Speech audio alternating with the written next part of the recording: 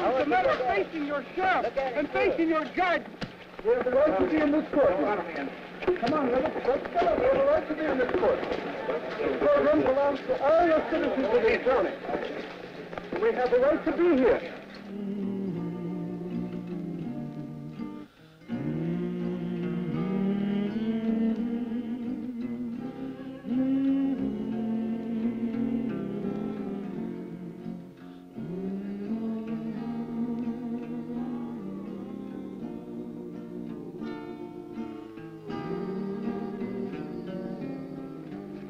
This march intends to keep off the highway. We will be marching on the shoulder of the road and will not in any way be interfering with the pursuit of traffic. And we urge you to be careful to make sure that you don't get on the highway in any way.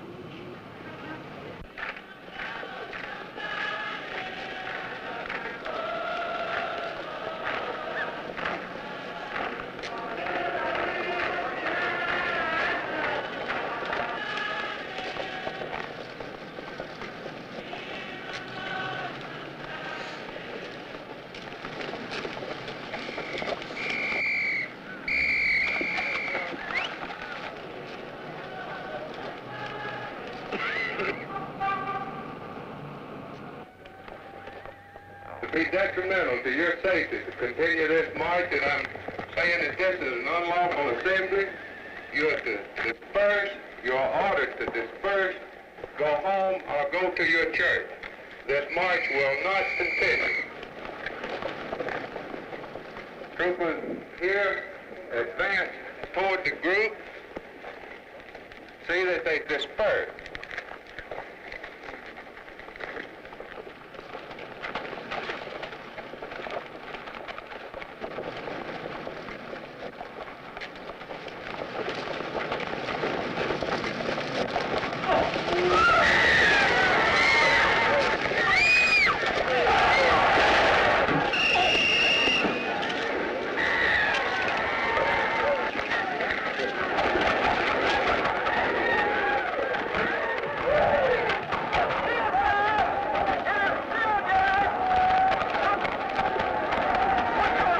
yourselves men. You're not men, but these are people who've done injustice. You're nothing but a bunch of bullies.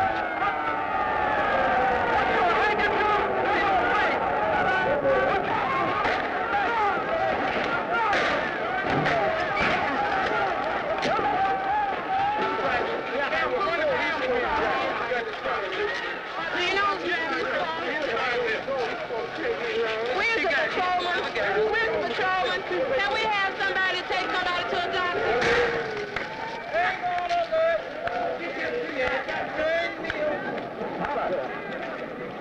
We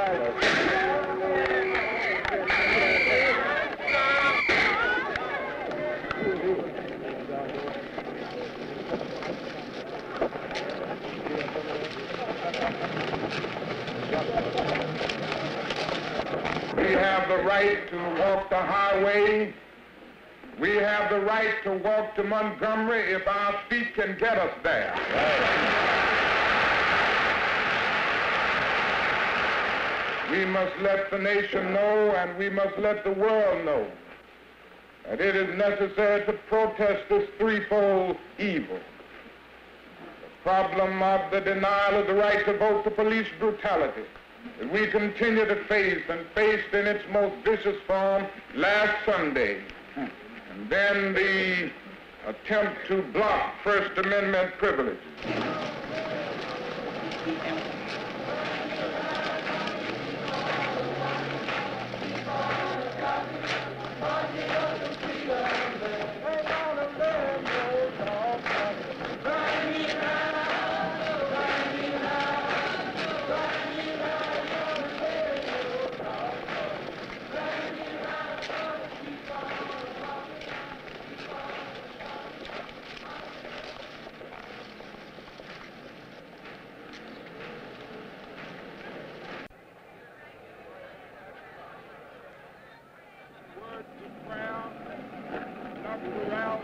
Let us bow in prayer.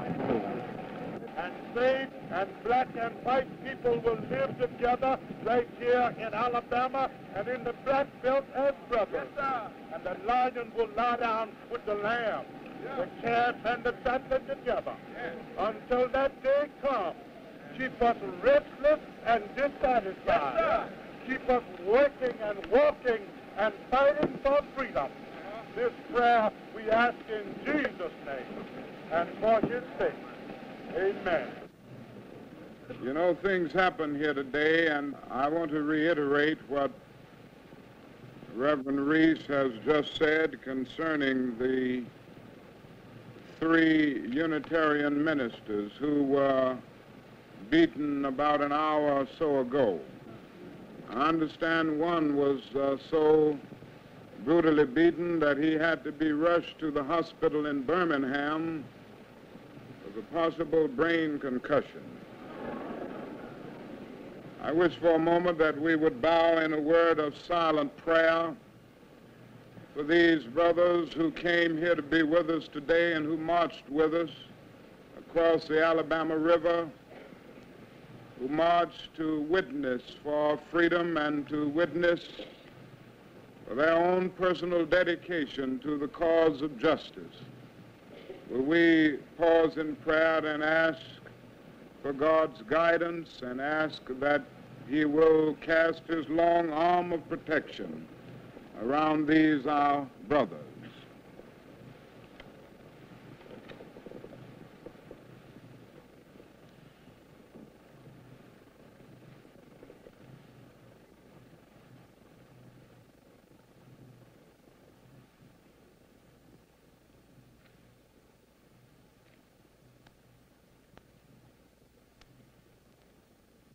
I'm calling into federal service selected units of the Alabama National Guard and also will have available police units from the regular Army to help meet state responsibilities. These forces should be adequate to assure the rights of American citizens pursuant to a federal court order to walk peaceably and safely without injury or loss of life from Selma to Montgomery, Alabama. Pick 'em up and lay 'em down. Right, right. Pick 'em up and lay 'em down. Right, right. Pick 'em up and lay 'em down. Right, right. All the way from Selma town.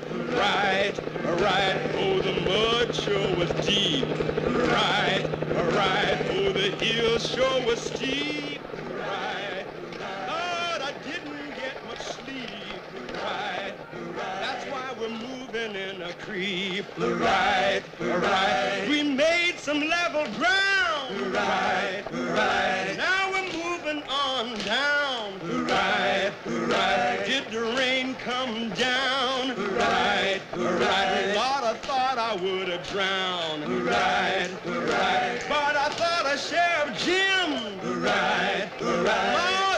Lord, I thought of Sheriff Jim. That's good. Ah, all right, come on, put it there. rebel flag on it. Run the big neck, nigga Sheriff Clark, you heaving a sigh of relief today that all this is moving out of your county now? I hope it's over, but I doubt it.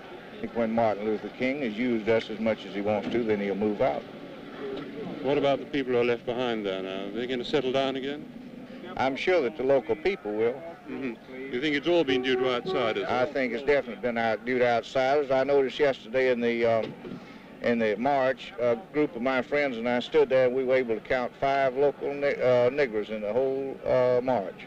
Do you think there are many communists in this procession? I think it's possibly made up of three, one-fourth communists and, and uh, one-half pro-communists. I'm from Kansas City, Missouri, and uh, I've answered a call for the Interracial Council there in Kansas City to join the march here. Uh, these ideals that have been expressed by all the people have been mine for a long time. I've had an opportunity to do something about it now.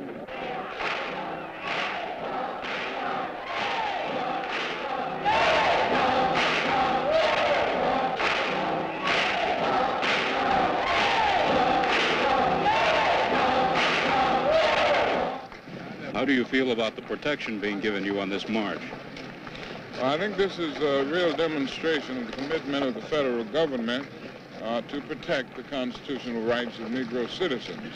Uh, the protection has been very thorough, as you can see, and uh, the men are working uh, under the guidance and certainly uh, under the power and influence of the federal government to see that things are carried out uh, in an orderly manner. So I think that everybody uh, has to recognize that this symbolizes uh, a new commitment and a new determination on the part of the federal government to take the kind of vigorous line that will assure the rights of the Negro citizens of this nation.